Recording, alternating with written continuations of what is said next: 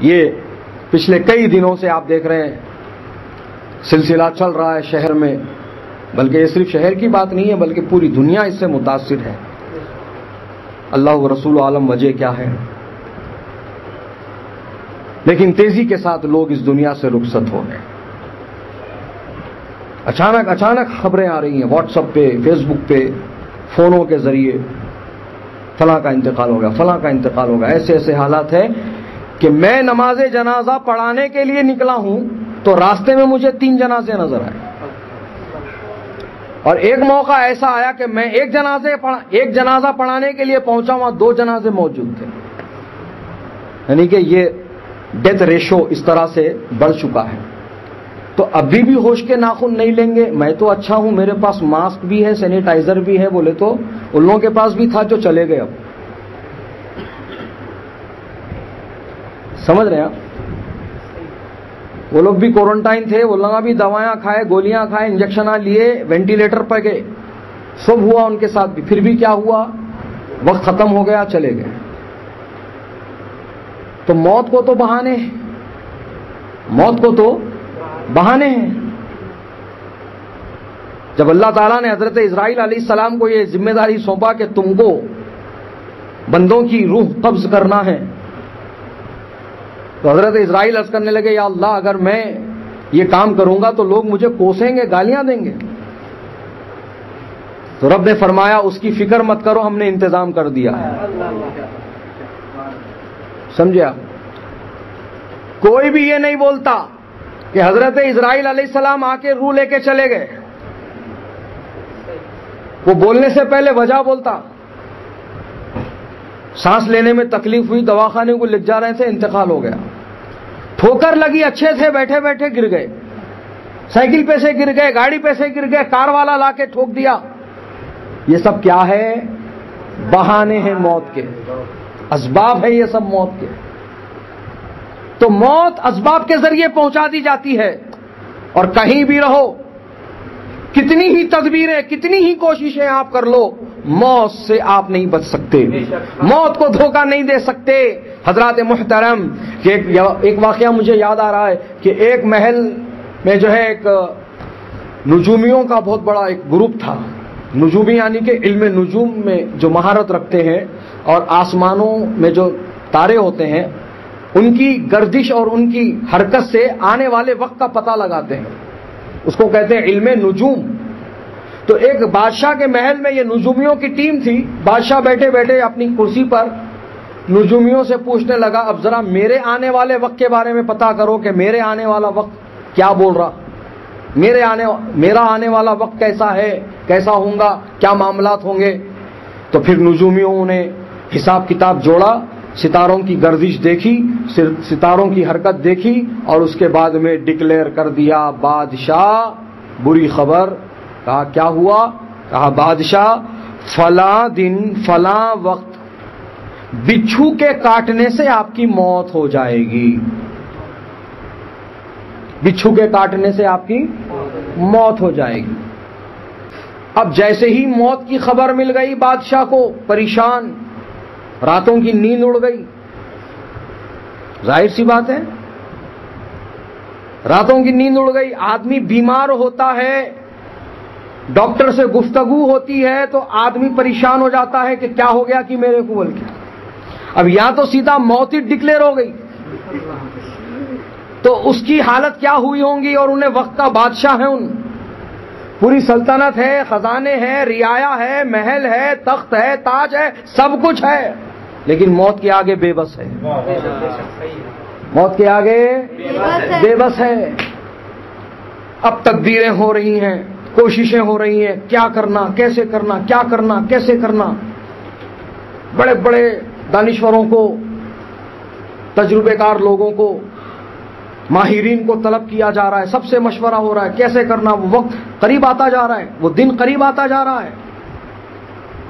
बहरहाल, किसी ने तजुर्बा रखने वाले ने कहा कि एक काम करिए आप साहब। पानी में जाके ठहर जाइए। बिच्छू पानी में नहीं आता। आप जो है, पानी में जाके ठहर जाइए। बिच्छू वहाँ पे नहीं आता। अब जब बिच्छू नहीं आएगा तो आपकी मौत भी नहीं होगी, क्योंकि आपकी मौत बिच्छू के काटने से होगी। ये इल्म नजूम के ज़रिए पता हमने किया है। तो बादशाह ने कहा, ठीक है, फौज का एक दस्ता लो और ज़मीन पर, आसमान पर, दरख्तों पर, हर तरफ़, पानी के किनारों पर कड़ी नज़र रखो। छोटा कीड़ा भी अगर वहाँ से गुजर रहा तो उसको वहाँ से उठा लो, खत्म कर दो उसको। अब देखिए आप, बादशाह पूरी तैयारी में आ गया। वो वक्त पहुँच रहा है, होने वाला है। घोड़ा लेकर के बादशाह दरिया के किनारे पहुँचा, तालाब के किनारे पहुँचा और अपने जिस्म से सारे कपड़े उसने निकाल दिए। हज़रत मोहतरम घोड़े को लेकर पानी में पहुँचा वो आगे खड़ा है, घोड़ा पीछे खड़ा है। इसी तरह से अब वो वक्त करीब आ रहा है। लोगों की नज़रें चारों तरफ़ दौड़ रही हैं। वजरा भी पूरी तरह से मुतयन है और इधर दस्ता भी फौज का पूरी तरह से यहाँ पर निगरानी कर रहा है कि बिच्छू कहाँ से आ रहा है। कोई परिंदा तो नहीं फेंकने वाला है। कहीं से वो उड़ के तो नहीं आने वाला है। दरख्तों पर नज़र है, रेत पर नज़र है, पानी पर नज़र है, हवा पे नज़र है। हर तरफ़ उनकी नज़र दौड़ रही है। हज़रत मोहतरम बहुत देर से जो घोड़ा पानी में खड़ा था। उसको जब टांगों के ज़रिए से सर्दी उस तक पहुँच गई तो उसने छींका और घोड़ा जब छींका तो घोड़े की नाक से बिच्छू का बच्चा बादशाह की गर्दन पे गिरा और उसने वहीं पर काट कर उसको खत्म कर दिया। ये देखिए आप ये देखिए आप मौत को कोई शिकास्त नहीं दे सकता। कितनी ही तदबीरें कर लीजिए कितना ही इल्म हासिल कर लीजिए कितना ही तजर्बा हासिल कर लीजिए दौलत हासिल कर लीजिए सिक्योरिटी सिस्टम बढ़ा लीजिए सीसीटीवी कैमरे लगा लीजिए क्या करते कर लीजिए? मौत को शिकस्त नहीं दे, नहीं दे सकते। मौत आकर रहेगी कहीं छुप जाओ। कहीं छुप जाओ। ऐसे एरिया में चले जाओ चाहे वो ओजोन हो कि एमेजोन हो। कहीं चले जाओ। कहीं चले जाओ। जहाँ पर कोई ऐसा सिग्नल नहीं जो आपको ट्रेस कर सके, ऐसी जगह चले जाओ। कोई जीपीआरएस आप तक ना पहुँच सके, ऐसी जगह चले जाओ। जहाँ पर दुनिया की सारी मशीनें, टेक्नोलॉजी फेल हो जाएँगी, वहाँ पर भी मौत का फिरिश्ता पहुँच जाएगा। फिर आप कुछ मालूम आप कहाँ गए? ना बीवी को बोले, ना बच्चे को बोले समझे आप? कुछ भी नहीं, अकेले तनहा निकल गए। मगर किसको भी नहीं मालूम हुआ तो मौत के फिरिश्ते को अल्लाह इत्तला फरमा देता, उसको इल्म अता कर देता। फरिश्ते को मालूम हो जाता कि बंदा कहाँ पर बैठा है, और वो उसी वक्त में पहुँचता है, उसको मौत का मज़ा चकाता है, उसकी रूह कब्ज करता और चला जाता है।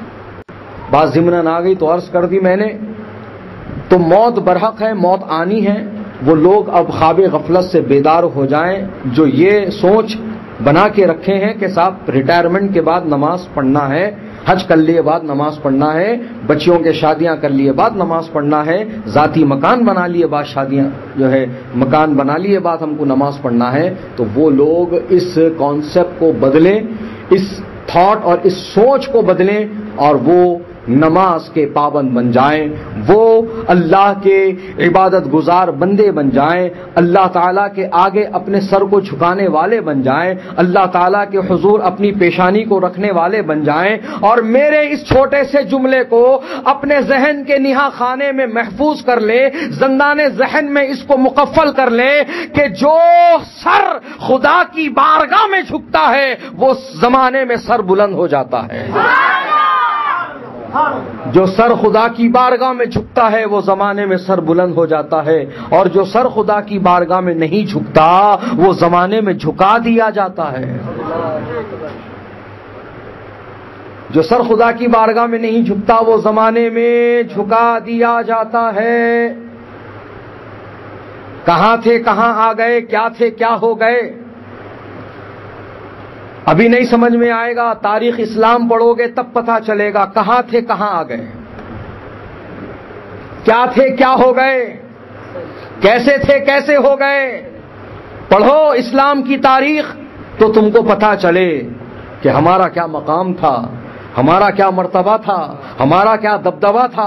अरे खजाने हमारे कदमों में हुआ करते थे। बड़ी बड़ी कुर्सियाँ हमारे कदमों में हुआ करती थी। बड़े बड़े ताज हमारे कदमों में पड़े रहते थे। हुकूमतें हमारी थी, सल्तनतें हमारी थी, फौजें हमारी थी। सारा निज़ाम हमारा था। वो किनका था? वो उनका था, जिनके सर खुदा की बारगाह में झुकते थे। वो उनका था, जिनके सर खुदा की बारगाह में झुकते थे। जिन्हें शरीयत महबूब थी तबीयत नहीं। वो अल्लाह रसूल के अहकाम के मानने वाले और उनके पाबंद हुआ करते थे। यही तो कामयाबी है यही तो कामयाबी का राज है। मयुतल्लाह व रसूल फ़कत फाज फौजन अजीमा। तहकीक वो बड़ी कामयाबी पा गया जो अल्लाह रसूल की इतात कर लिया। है, है सुबहान अल्लाह। हमारे YouTube चैनल खबरें की सुननी दिलेर खादरी को सब्सक्राइब करें और बेल आइकन पर क्लिक करें।